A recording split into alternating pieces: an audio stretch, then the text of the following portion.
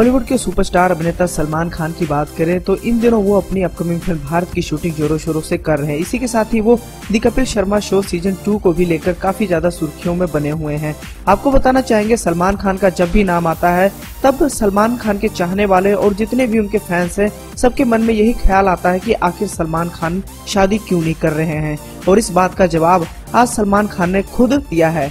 दरअसल हुआ यूँ कि सलमान खान अपनी पूरी फैमिली के साथ the Kapil Sharma show season two में नज़र आने वाले हैं। इसी कॉमेडी शो के दौरान उन्होंने वाक्य का ज़िक्र किया है। आपको बताना चाहेंगे, सलमान खान वाक्य का ज़िक्र करते हुए बताया कि बार संजय दत्त तो उन्हें शादी करने की सलाह दे रहे थे, लेकिन उसी दौरान उनकी वाइफ का फ़ोन आ गया और वो मुझे रोककर वहाँ से निकल गए। सलमान खान के इतना कहते ही कपिल शर्मा और शो के जज नवजोत सिंह सिद्धू सहित वहाँ मौजूद सभी लोग ज़ोर ज़ोर से हंसने लग गए। दरअसल सलमान खान इस दौरान संजय दत्त की खिल्ली उड़ा रहे थे क्योंकि उन्होंने उन्हें शादी करने की सलाह दी थी।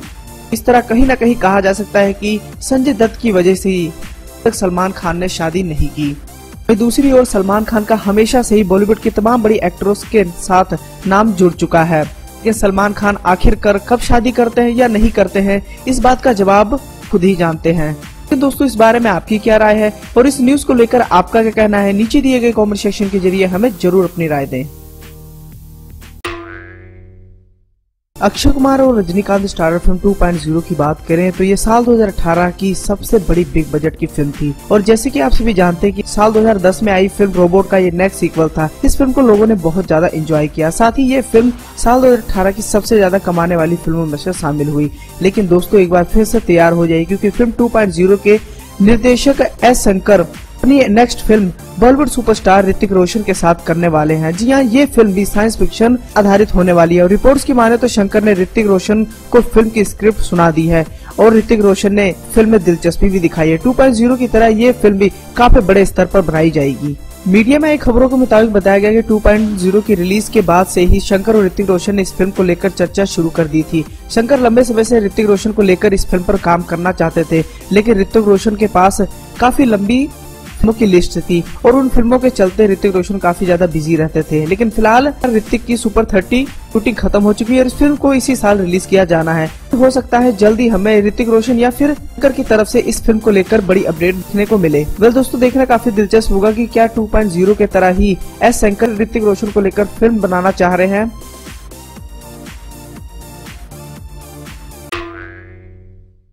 रणवीर सिंह और सारा अली खान स्टारर फ़िल्म सिम्बा की बात करें तो इस फ़िल्म ने अपनी अच्छी खासी पकड़ बॉक्स ऑफ़िस कलेक्शन के मामले में बनाई हुई है। आपको बताना चाहेंगे साल के अंत में इस फ़िल्म को रिलीज़ किया गया था और फ़िल्म को दर्शकों और मूवी क्रिएटर्स की तरफ़ से काफ़ी बढ़िया रिस्पॉन्स मिल रहा है। इसी के साथ ही अगर इस फ़िल्म के कलेक्शन की तरफ़ आ जाए तो वीकेंड के अंत तक इस फ़िल्म ने सौ करोड़ के क्लब में एंट्री ले चुकी है। पहले दिन के कलेक्शन की तरफ़ आ जाए तो सिम्बा फ़िल्म ने ओपनिंग डे में 20 करोड़ बहत्तर लाख की कमाई की थी। वहीं पर शनिवार की इसकी कमाई 23 करोड़ थी। रविवार की बात करें तो इस फ़िल्म ने 31 करोड़ रुपए की कमाई की थी। वहीं पर कल यानी सोमवार की बात करें तो 21 करोड़ रुपए की शानदार कमाई करके ये फ़िल्म अब तक छियानवे करोड़ रुपए की कमाई कर चुकी है। मूवी क्रिटिक्स तरन आदर्श ने फ़िल्म सिम्बा को फेबुलस बताया था। इसी के साथ ही फ़िल्म के कंटेंट और कहानी को काफ़ी ज़्यादा ज़बरदस्त बताया था, जिसका बड़ा फ़ायदा इस फ़िल्म को होता दिखा। और जिस हिसाब से सिम्बा फ़िल्म बॉक्स ऑफ़िस पर अपना कहर मचा रही उस हिसाब से ये साफ़ कहा जा सकता कि आगे भी ये फ़िल्म धुआंधार कमाई करती नज़र आएगी। सिम्बा फ़िल्म के अगर बजट की तरफ़ आ जाए तो बताया जा रहा है कि 80 करोड़ के आसपास इस फ़िल्म का बजट है, और ये फ़िल्म अपना बजट पार करके प्रॉफिट में अब जा रही है। यानी अब साफ़ कहा जा सकता है कि रणवीर सिंह की ये फ़िल्म सुपर डुपर हिट साबित हो चुकी है। इन दिनों बॉलीवुड के गलियारों में कई बड़ी फ़िल्मों को लेकर ज़बरदस्त चर्चाएँ हो रही हैं और चर्चाएँ हो रही हैं संजय लीला भंसाली की एक फ़िल्म को भी लेकर। आपको बताना चाहेंगे, कुछ दिनों पहले खबरें आई थी कि संजय लीला भंसाली शाहरुख खान और सलमान खान को लेकर एक बड़ी फ़िल्म बनाने वाले हैं। और बताया जा रहा है, फ़िलहाल इस फ़िल्म पर काम चल रहा है। अगर सब कुछ ठीक रहा तो शाहरुख खान, सलमान खान साल उन्नीस सौ इक्यानवे की सुभाष गई की फ़िल्म सौदागर के दिलीप कुमार राजकुमार की तरह कोई बड़ी फ़िल्म करते देख सकते हैं। और जब से इस बात की खबर सामने आई है, तब से इन दोनों सुपरस्टारों के चाहने वाले भी काफ़ी ज़्यादा खुश लग रहे हैं। आपको बताना चाहेंगे, दरअसल फ़िल्म की कहानी कुछ ऐसे हो सकती है इसमें दो पक्के दोस्त होंगे जो बाद में दुश्मन बन जाते हैं। वैसे देखा जाए, शाहरुख और सलमान खान की असल ज़िंदगी की कहानी भी कुछ ऐसी ही। है आपको बताना चाहेंगे कि सलमान और शाहरुख दोनों पक्के दोस्त थे। फिर एक पार्टी में सलमान खान के ब्रेकअप के साथ, शाहरुख ने ऐश्वर्या के लिए कुछ ऐसा कहा कि सलमान खान ने उनका कॉलर पकड़ा और थोड़ी बहुत हाथापाई हुई। कई सालों तक शाहरुख और सलमान खान एक साथ नहीं दिखे हालाँकि इन सालों के बीच में न ही शाहरुख ने, न ही सलमान ने एक दूसरे के बारे में बुरा भला बोला और इन दोनों की दुश्मनी तब खत्म हुई जब सलमान खान की छोटी बहन अर्पिता की शादी हुई। और फ़िलहाल अब शाहरुख और सलमान एक अच्छे दोस्त हैं और ये एक दूसरे की फ़िल्मों को प्रमोट भी करते रहते हैं। और ऐसे में कहना गलत नहीं होगा कि अगर ये दोनों कुछ ऐसी कहानी पर फ़िल्म लेकर आते हैं तो ज़ाहिर सी बात है ये बॉक्स ऑफ़िस पर बड़ा धमाका करने वाली है। आपको बताना चाहेंगे शाहरुख और सलमान के करोड़ों की संख्या में फैंस हैं और फैंस भी हमेशा से चाहते हैं कि शाहरुख और सलमान खान हमेशा से ही उन्हें फ़िल्मों में दिखे। और उन फैंस की मांग को पूरा करते हुए संजय लीला भंसाली एक बड़ी फ़िल्म बनाना चाह रहे हैं। फ़िलहाल इन सब चल रही अफवाहों में कितनी सच्चाई है, ये तो समय आने पर ही पता चलेगा। लेकिन दोस्तों, इस बारे में आपकी क्या राय है? नीचे दिए गए कमेंट सेक्शन के ज़रिए हमें ज़रूर अपनी राय दें। क्रिस फ्रेंचाइजी की बात करें तो इस फ्रेंचाइजी के चाहने वालों की कमी नहीं है। और इस समय राकेश रोशन और ऋतिक रोशन अपनी सबसे बड़ी फ्रेंचाइजी फ़िल्म क्रिश के अगले पार्ट की तैयारियों में जुटे हुए हैं।